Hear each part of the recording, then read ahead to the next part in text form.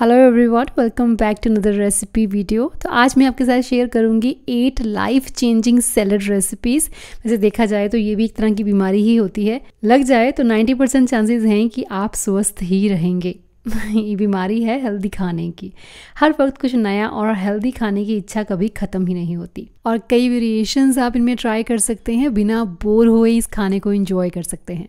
अब एक वीक आप इन सभी रेसिपीज़ को ट्राई कीजिएगा डिनर में इन सैलड्स को बनाइएगा और खाइएगा और एक वीक के बाद अपना वेट चेक कर लेना आई एम डैम श्योर आपको डिफरेंस ज़रूर नज़र आएगा। इन सैलड्स को अगर आप मेन मील के साथ खा रहे हैं तो एक या दो सर्विंग स्पून ले सकते हैं, लेकिन अगर मेन मील की जगह आप इसे ले रहे हैं तो आप बोल भर ले सकते हैं। पिछले दो महीने से इस वीडियो की रिक्वेस्ट थी तो चलिए बिना देर किए शुरू करते हैं, देखते हैं पहली रेसिपी क्या है।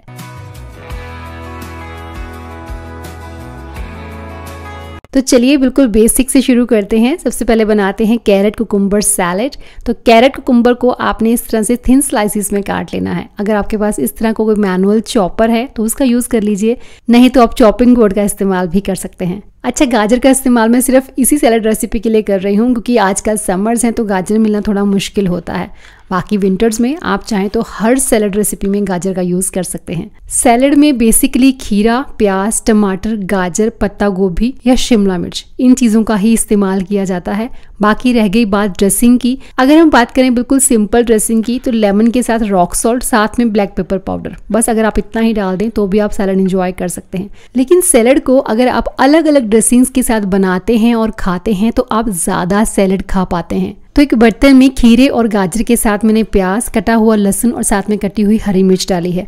ड्रेसिंग के लिए मैंने एप्पल साइडर विनेगर लिया, दो टेबल स्पून एक टेबल स्पून मैंने डाला है इसमें सोया सॉस साथ में इसमें डालेंगे हम ऑलिव ऑयल एक टेबल स्पून एक टीस्पून मैंने इसमें व्हाइट तिल डाले हैं और साथ में एक टीस्पून रॉक सॉल्ट शेक कीजिए और पोर कर दीजिए सैलेड पे तो आपका सैलेड तैयार है। हरे धनिया के साथ गार्निश कर सकते हैं।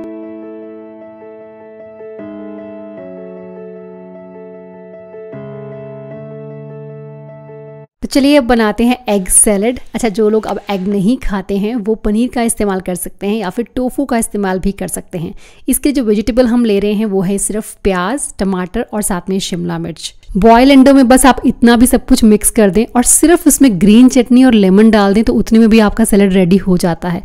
लेकिन चलिए इस सैलड को थोड़ा सा और टेस्टी बनाते हैं, थोड़ा सा क्रीमी बनाते हैं। कोशिश कीजिए कि जिन सैलड्स में सिर्फ़ सब्ज़ियाँ हैं, उन्हें आप मेन मील के साथ इस्तेमाल कीजिए और जिन सैलड्स में कुछ वेरिएशंस डाली गई हैं मतलब कुछ फ्लेवर्स ऐड किए गए हैं, जैसे कि अंडा है, चना है, सोयाबीन है, राजमा है, उन्हें आप मेन मील की जगह पे लीजिए। मैंने यहाँ पे तीन बॉयल अंडे लिए हैं, अगर आप सिर्फ़ अपने लिए बना रहे हैं और मेन मील के लिए बना रहे हैं तो आप दो बॉयल एग लीजिए, एक प्याज, एक टमाटर और एक मीडियम साइज़ शिमला मिर्च आपके लिए काफ़ी है। अब एक ग्राइंडर जार में दो चम्मच मैंने दही डाला है, दो चम्मच ग्रीन चटनी, थोड़ा सा ब्लैक पेपर पाउडर और साथ में काला नमक।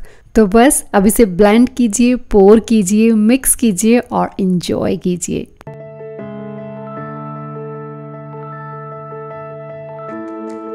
चलिए बनाएँगे किनुआ सैलेड कुछ लोग मुझे पूछ रहे थे कि किनुआ क्या होता है तो ये साउथ अमेरिका का एक ग्रेन है। इंडिया में थोड़ा सा महँगा मिलता है।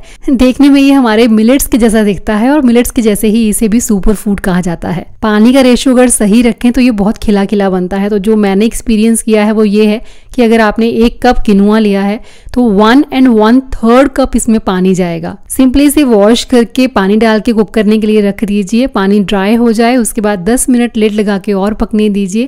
बिल्कुल सॉफ्ट हो जाएगा। तब तक दूसरी प्रिपरेशन कर लेते हैं। तो एक कप मैंने व्हाइट चना लिया है बॉयल किया हुआ। तो चना, राजमा, सोयाबीन वगैरह ये सब बॉयल करके मैं फ्रीज कर लेती हूँ।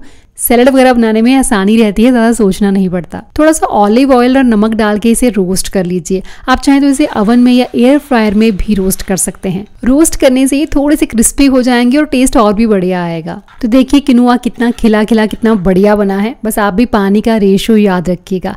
आप देख सकते हैं बिल्कुल सॉफ्ट है, कच्चा होता तो इस तरह से फिर मैश नहीं होता। तो बस बोल में एक कप चने के साथ दो सर्विंग स्पून किनुआ डाला है। साथ में खीरा, प्याज और टमाटर डाल दिए हैं चॉप किए हुए। ऑलिव्स डाले हैं थोड़े से, साथ में पुदीना और साथ में हरा धनिया काट के डाल देंगे। उसके बाद हम इसके लिए रेडी करेंगे ड्रेसिंग तो एक जार में एक लेमन जूस साथ में ऑलिव ऑयल थोड़ा सा कटा हुआ garlic black salt black pepper powder और साथ में रॉक सॉल्ट बस अच्छे से शेक कर दीजिए पोर कर दीजिए मिक्स कर दीजिए और इंजॉय कीजिए।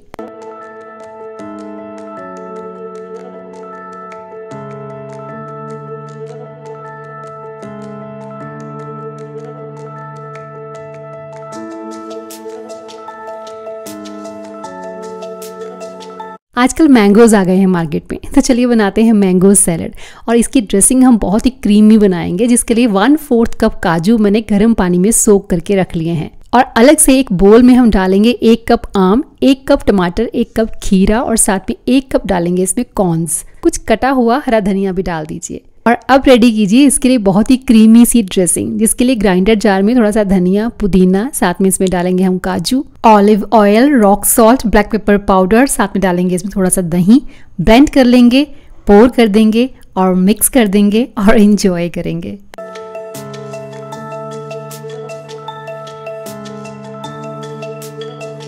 चलिए बनाते हैं दुनिया का सबसे सिंपल सैलड कचूम्बर सैलड मेरी फेवरेट ड्रेसिंग के साथ। मतलब घर में मैं ऑलमोस्ट इसी ड्रेसिंग का यूज़ करती हूँ। छोटे छोटे पीसीज में काट लीजिए खीरा, टमाटर और प्याज को गार्निश कर दीजिए हरे धनिया के साथ। और ड्रेसिंग के लिए हम यूज़ करेंगे apple cider vinegar olive oil mustard sauce में थोड़ी सी डालिए इसमें। Black pepper powder rock salt और साथ में थोड़ा सा ब्लैक सॉल्ट बस, इतना ही करना है।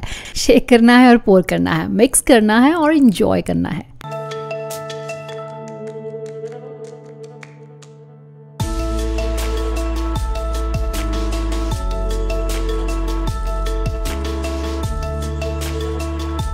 चलिए बनाते हैं राजमा, यानी कि किडनी बीन्स सैलड, जिसके लिए हमने लाल वाले राजमा लिए हैं। तो एक कप मैंने लाल राजमा लिए हैं, बॉईल किए हुए। एक कप हरी शिमला मिर्च, एक कप लाल शिमला मिर्च, साथ में एक कप कॉर्न्स डाले हैं, एक कप टमाटर, एक कप प्याज, वन फोर्थ कप एल्पिनोज, और साथ में इसमें डालेंगे हम ग्रेट किया हुआ पनीर, एक कप। ड्रेसिंग के लिए एक नींबू का जूस एक चम्मच ऑलिव ऑयल एक चम्मच हनी डालेंगे इसमें और साथ में डालेंगे ज़ीरा पाउडर ब्लैक सॉल्ट और साथ में डालेंगे इसमें ब्लैक पेपर पाउडर शेक कर दीजिए पोर कर दीजिए मिक्स कर दीजिए और इन्जॉय कीजिए। डिनर में अगर आप ये सैलड खाते हैं तो आपको खाना खाने की क्रेविंग नहीं होगी प्लस भूख भी नहीं लगेगी, क्योंकि काफ़ी फिलिंग सैलड होते हैं। तो चलिए अब बनाते हैं फटाफट से कैबेज और पनीर सैलड जिसके लिए पत्ता गोभी को हमने पीलर की हेल्प से पील करना है। मतलब इस तरह से अगर हम करते हैं तो बहुत बारीक बारीक रेशे पत्ता गोभी के हमारे पास आ जाते हैं। जिसे खाना काफ़ी ईजी होता है। पत्ता गोभी को लेकर काफ़ी चीज़ें बोली जाती हैं। इसमें स्पेशल तरह का एक कीड़ा होता है जो हार्मफुल होता है। तो ऐसा नहीं होता है। किसी एक चीज़ को बहुत बुरा नहीं बना देना चाहिए। अच्छे से उसे गर्म पानी से वॉश कर लीजिए और उसे यूज़ कीजिए। ये एक लीफी वेजिटेबल है। बिल्कुल इसे खाना छोड़ नहीं देना चाहिए। मैं तो पत्ता गोभी बहुत खाती हूँ। पनीर का इस्तेमाल इस सैलड के लिए आप कच्चा भी कर सकते हैं, तवे पे रोस्ट कर सकते हैं एयर फ्रायर में या अवन में भी इसे रोस्ट कर सकते हैं। रोस्ट करने से क्या होता है कि थोड़ा सा फ्लेवर चेंज हो जाता है और सैलड देखने में भी काफ़ी अच्छा लगता है।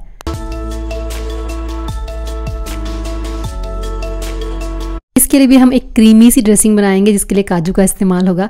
तो वही वन फोर्थ कप मैंने काजू लिए हैं। दो चम्मच मैंने इसमें दही डाला है रॉक सॉल्ट डाला है चिली फ्लेक्स डाले हैं और एक चम्मच के करीब इसमें डाला है ऑलिव ऑयल ब्लेंड कर दीजिए। और बस पोर करना है मिक्स करना है और इन्जॉय करना है।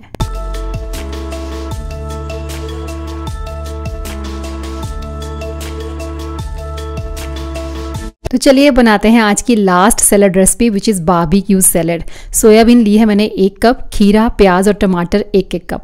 हरा धनिया और साथ में पुदीना डाला है काट के. कुछ मूंगफली के दाने डाल दिए. ड्रेसिंग के लिए हम इसमें डालेंगे बाबी क्यूज सॉस ये ये fat free sauce easily market में अवेलेबल है. इसके साथ ही इसमें डालेंगे एक lemon juice apple cider vinegar olive oil एक चम्मच हनी रॉक सॉल्ट और ब्लैक पेपर पाउडर अब इसके बाद क्या करना है वो आपको पता है. पता है तो कॉमेंट सेक्शन में लिख दीजिएगा. तो इन सैलड्स को मैंने लाइफ चेंजिंग सैलड्स का नाम क्यों दिया?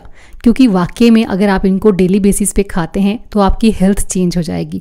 और हेल्थ चेंज हो जाती है तो लाइफ चेंज हो जाती है। अगर हमें पता हो कि लाइफ में हेल्थ के मायने क्या हैं। मैंने आपके साथ एट सैलड रेसिपीज़ शेयर की हैं। मान लीजिए इनमें से कोई एक आपको पसंद नहीं भी आई तो भी आपके पास सात हैं पूरे वीक के लिए। तो बनाइए, खाइए और मस्त रहिए। और मेरा इंतज़ार ज़रूर कीजिएगा। मिलूँगी नेक्स्ट वीडियो में। Till then bye take care and stay healthy